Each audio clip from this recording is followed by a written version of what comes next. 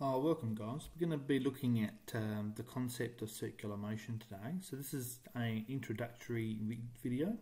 The first thing I'm going to show you is uh, a little snippet from Paul Hewitt on, on centripetal force. So watch and enjoy and we'll go through some theory in a second. I got here some water.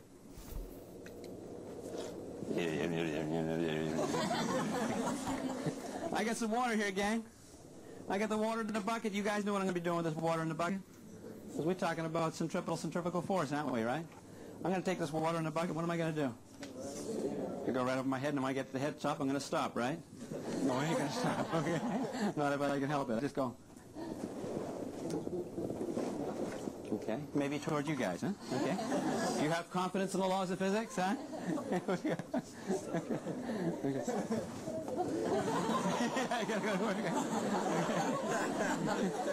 but this is uh, this is this is water, gang. Okay. How come the water didn't fall out?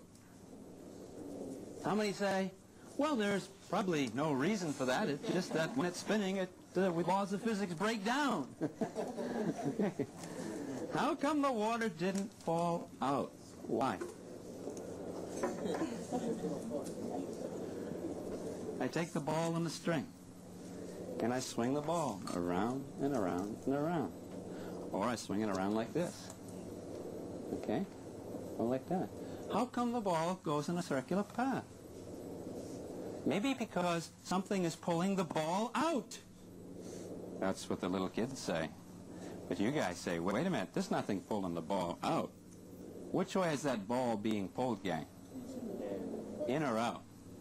Begin with an I. Now try it. That's being pulled in. You know a lot of people don't, don't, don't know that?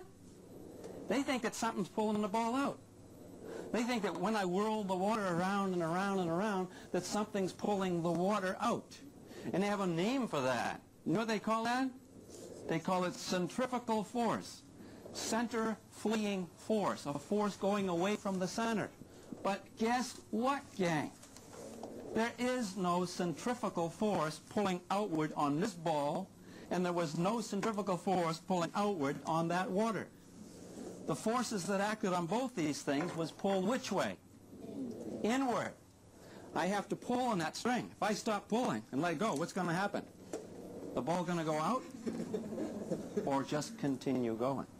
And this is the law of inertia. Alright, so looking at Paul Hewitt video, uh, I think it's quite a good one in terms of setting you up with what you need to do in, in terms of looking at uh, the concept centripetal force. Right, so um, this is little proof that I'm going to show you, which I think um, is essential to, to be able to do. Um, this is one that often gets asked in an exam. Right, so if we're looking at an object, let's say we've got a, a big blob of uh, something with a string, maybe it's a weight, which we'll do as an experiment.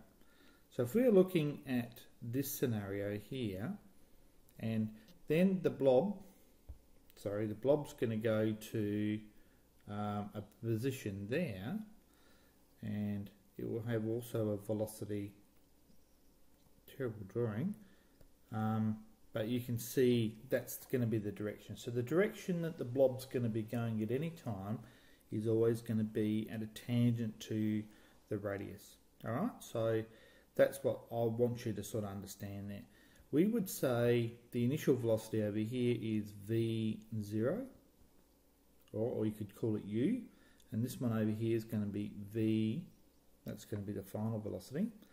Now, there is a little formula for change in velocity. Now, change in velocity is equal to the final velocity take away the initial velocity. I'll get rid of that little thing there, sorry. Alright, so the final velocity take away the initial velocity. Alright, so if we consider that idea then what we've got here is we've got our final velocity going that way and we've got to take our initial velocity. Now our velocity, initial velocity is going there. So taking away our initial velocity means that there will be a vector going in that direction there. Alright, so if I do that, put my vector going there, that's my initial velocity, then what you'll see is that change in velocity over here is in fact directed towards the center of the circle. Alright, so and that is the centripetal force that we're actually looking at. So the centripetal force is always directed towards the center of rotation. Um, and that's a key concept that you guys need to make sure that you understand about uh, circular motion. Now, anything that's going around, whether it be a satellite, whether it be a you know a little a weight put on a string, right, there has to be some sort of uh, centripetal force acting there. Right, just moving ahead from there, um, I'll just come down the page a little bit. Oh. All right, so if we know that the change in velocity is equal to the final velocity take away the initial velocity, we're doing that as a vector calculation. All right, so that's a vector addition there. Now, if we were going to look at the force, Alright, so force is equal to mass times by acceleration. Alright, so if we're talking about our centripetal force, it's equal to the mass times by the centripetal acceleration. Now, centripetal acceleration is equal to v squared over r. Alright, so um, that is on your formula sheet. Alright, so the next thing that we need to look at there is obviously putting that into there. So 4 centripetal is equal to mv squared on r. Alright, so that's the main formula that you'd probably need to work from. And again, as I said, the information for that is on your formula sheet. So uh, another, obviously, uh, thing that we'll be looking at will be a uh, experiment where we're going to be looking at the rotation of objects. Now, one of the things is we know that v, the velocity, is the distance travelled over the time, isn't it? Now, if we're thinking of a circle, the radius of a circle is 2 pi r, and the time to get around that's called t, the period. So if you square that, you have to square the top line, so that'll be 4 pi squared r squared all over t squared. Right, so if I can put that into the form over here. The force centripetal is equal to m 4 pi squared r squared um, and that's all over r and then t squared.